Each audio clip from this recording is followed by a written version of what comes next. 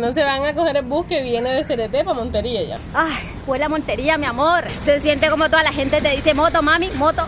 Ve, amor, ya hicimos la primera seguidora. Nos tocó devolvernos porque obviamente María Alejandra dijo, venga, que es que yo quiero saber dónde es que voy a ser famosa, mi amor. Que se pide una gaseosa de este lugar, o sea, una cola román. ¿De qué material se hacen los sombreros volteados, mi amor? Ahí tienen el acordeón, por si no saben cuáles son los instrumentos de la costa. Esto, que es el corozo de aquí de la región. Vamos a probarlo a ver a qué saben. Para la playa. De ahora en adelante, todo es la playa. Así que obviamente tenemos que arrancar para el aeropuerto, irme hasta la estación de buses, porque como soy en Medellín tengo que ir hasta Río Negro, mi amor, para poder tomar el siguiente vuelo. Nosotros nos tenemos que emigrar de aquí, mi amor, o si no nos deja el avión. Estamos en la avenida El Poblado. Aquí tenemos que tomar el bus que nos lleve hasta el centro comercial San Diego. Ahí vamos a almorzar, a comernos algo bien rico. Bueno, cuando venía en el bus me tocó hacerme una moñita y quitarme el saco porque ya se sentía el calor más arrecho y fue pucha. Te cuento que llegamos aquí al centro comercial San Diego. Algunos lo consideran como el primer centro comercial que hicieron aquí en Colombia y la verdad que es el primer centro comercial que se hizo aquí en Antioquia. Y de paso les voy contando preciosos que el señor Jaime Aragón Uribe le dio por allá en 1979 en crear un centro comercial, como que él fue el fundador de este centro comercial y para esa época pues usted imagínese en Colombia y mucho menos aquí en la cultura paisa era común que las personas fueran a un centro comercial como a recrearse o como una zona de entretenimiento, no, o sea, la gente iba a los centros comerciales, iban solamente a comprar. Entonces el señor Jaime dijo, no, vamos a hacer algo diferente, trajo unos triciclos, compró como unos 20 triciclos que puso a funcionar aquí en el centro comercial. Y obviamente eso lo que hizo fue que muchas mamás con los niños vinieran al centro comercial a montar a los peladitos siempre es cansón. Y esos 20 triciclos quedaron fue pendejos, mi. El señor le tocó mandar a hacer otra cantidad de triciclos y eso de alguna manera lo que hizo fue avivar que muchas personas fueran a los centros comerciales, en este caso que vinieran a este centro comercial a recrearse, que vinieran en familia, no simplemente que vinieran a comprar y ya.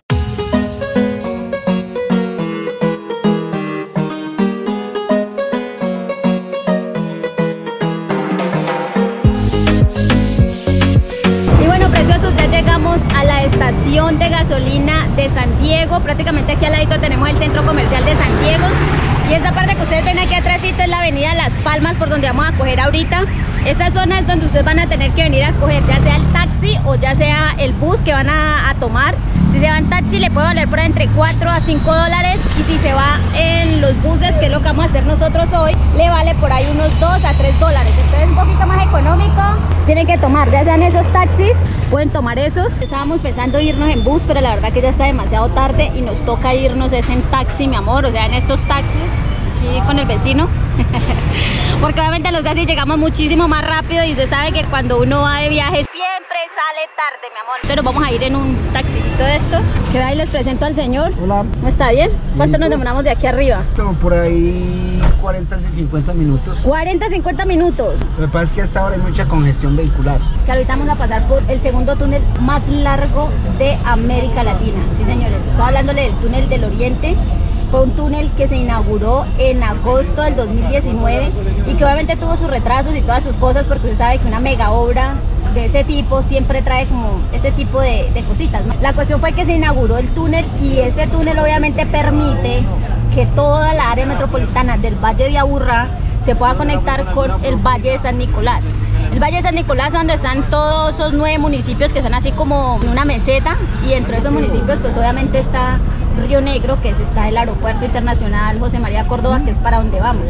Y así como dato súper curioso, les cuento que ese túnel mide 8,2 kilómetros de largo, mi amor. O sea, imagínense. Debe ponernos este hermoso cinturón para proteger nuestra hermosa vida, les sigo contando. El túnel más largo va a ser el del Toyo, que es del Urabá antioqueño, que va a medir 9.8 kilómetros y ya está en un 80% la hecha de la, del viaducto. Va a unir Antioquia con el Urabá antioqueño y Chocó. Nos vamos a demorar cuatro horas para tener mar en Medellín.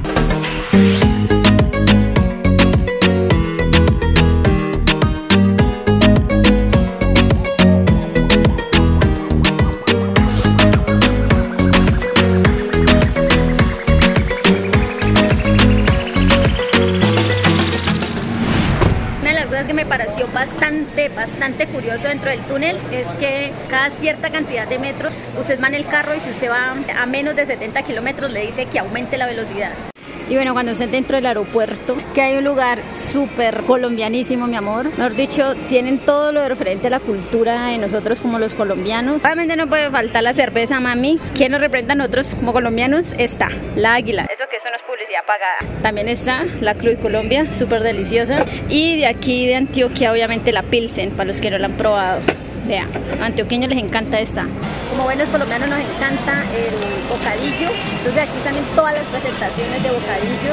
Se los tienen así en dulcecitos, se los tienen así también. Para los que no saben qué es un bocadillo, es un dulce de guayaba, como estos, de los que se comen con mazamorra, con leche, porque son bien dulces, bien ricos y bien nutritivos. Ahí ya se dieron cuenta que cuando pasen aquí al aeropuerto José María Córdoba, por favor se checan este lugar.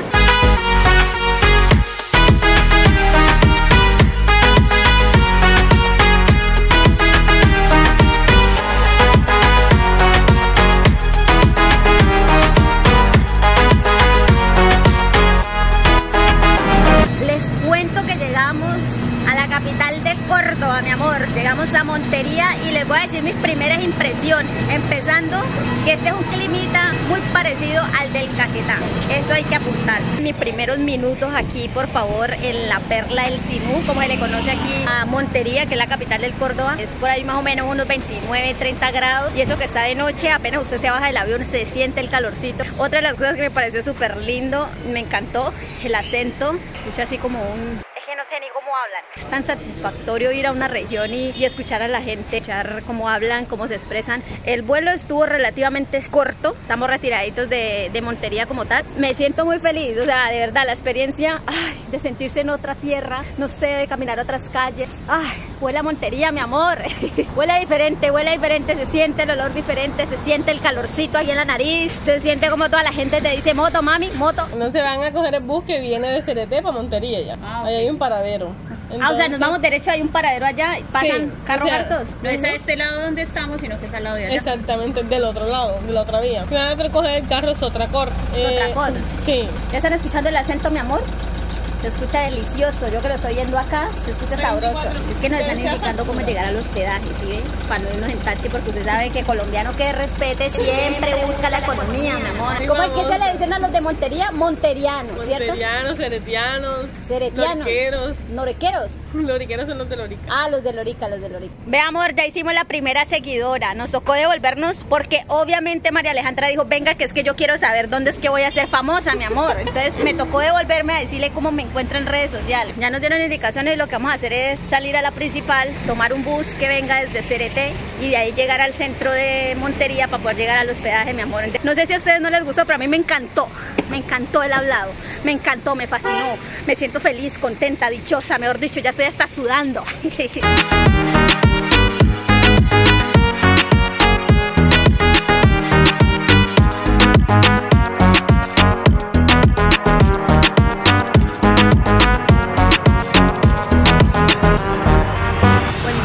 perdonarán la despelucada, la despeinada, me mirarán así súper sudada, de verdad. Uy, no, no, no, mucho calor, mucho. Pero bueno, les cuento que ya llegamos al hotel. Está retiradito del aeropuerto. Pero bueno, aquí ustedes se pueden conseguir mototaxis o pueden venir en un taxi o pueden ir hasta la central y conseguirse en un bus que los traiga. Mi recomendación es que por favor cuando ustedes salgan del aeropuerto y vayan hasta la central no se vayan a ir a pie. Y de noche si ustedes de pronto vienen pues también es muy inseguro. Les voy a hacer un room tour. La habitación no es que sea grande pero lo voy a hacer. Bueno, les voy contando que aquí como hace mucho calor mi amor, tenemos aire acondicionado. Miren nada más esta coquita. Qué detalle mi amor. Estos detalles no los miro en cualquier lado. Esto yo no sé cómo, cómo se le llama esto, como mimbre, un toque de fina coquetería. No sé, no sé cómo se le llamará esto. Si ustedes saben, escríbanme aquí en los comentarios. Este detalle me encantó y está muy bonito. Para que esta habitación tenga luz, tenemos que abrir obviamente la puerta con la llave y luego hay que dejar la llave insertarla aquí para que se puedan prender estas luces porque lo contrario no se pueden prender estas luces como que recargan no sé ahorita sí vea así sin luces como se mira súper linda mi amor antes de acostarnos a dormir tenemos que pedir un domicilio y pedimos fue una picada mixta lo único que yo le veo diferente es que se pide una gaseosa de este lugar o sea una cola román Vamos a ver qué tal, si es que sabe a la misma de postobón o qué. Y esto lo que tiene diferente es el queso, y creo que tiene salami. Vamos a probar la cola román, la de siempre. Tiene buen gas, a la gaseosa de manzana de postobón, no sabe, tiene su, tiene su toque especial, o sea, o sea, como que tú la tomas y dices sí, sí es diferente a las otras, tiene como un saborcito como, como a fresita, digo yo, pero no está dulce, o sea, no está re dulce, no, no está hostigosa, está rica, muy rica. Lo que me gusta es el queso costeño. Está rica, mami. Pues sí, señores, que llegamos a la ciudad de Montería, mami, la primera vez por estos lares. Ayer, preciso cuando llegamos del aeropuerto, se sintió inmediatamente el calor en esta ciudad, mami. Entonces, nada, preciosos, vamos a caminar un ratico por las calles de Montería, mi amor. Vamos a echar una caminadita aquí por el centro, ya que estamos aquí en el centro. Sí, hay como una galería aquí al lado izquierdo. Venden carne, venden cositas, fruticas. Y aquí a ese lado venden muchísima ropa, vea. si usted no trajo ropa, mami, no me preocupe que aquí la consigue. Una de las cosas fáciles para llegar es este, que es el muelle. Aquí está el hermoso río Sinú, mi amor. Eso es el centro cultural, acá donde hacen danzas. No me imagino en la tarde cómo será, no me lo quiero imaginar porque si así como estoy ya se siente el calorcito, la sabrosura.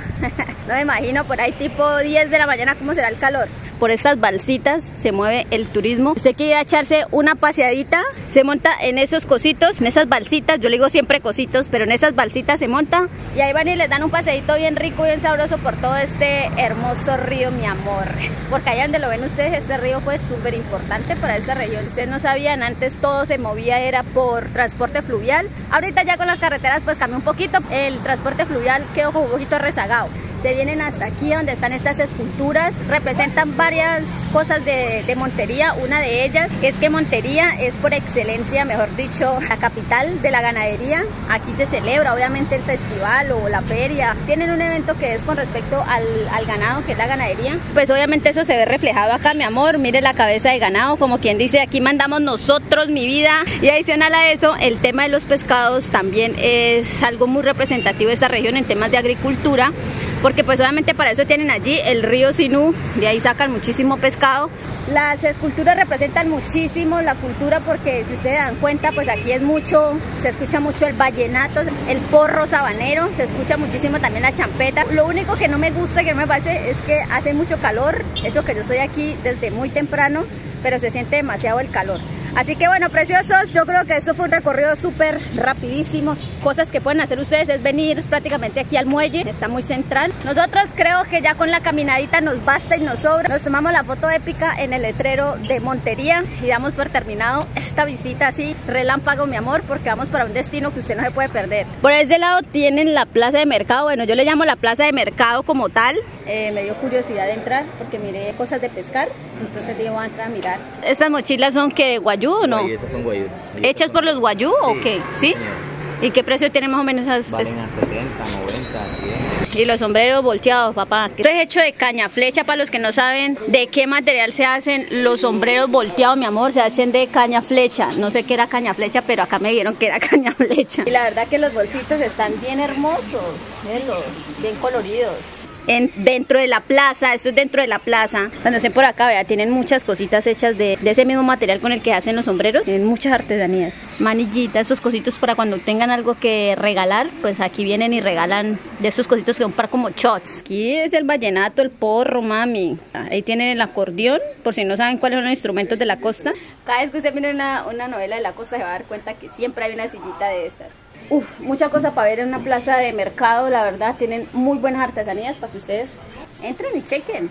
Dicen que aquí lo que más comen es el plátano, es el queso costeño, el ñame, que es parecido como, como a la yuca, bueno, una de las cosas típicas que yo veo es que aquí en cada esquina venden fritos. Vea, aquí hay fritos, allí fritos. La parte que veníamos de allá atrás también hay fritos. Por aquí hay más gente vendiendo fritos. Mi amor, esta es la zona costeña donde venden puros fritos. Dale, cuento que aquí el tema de los fritos es vaina. Vale, cuidado acá el señor. Se come demasiado patacón aquí.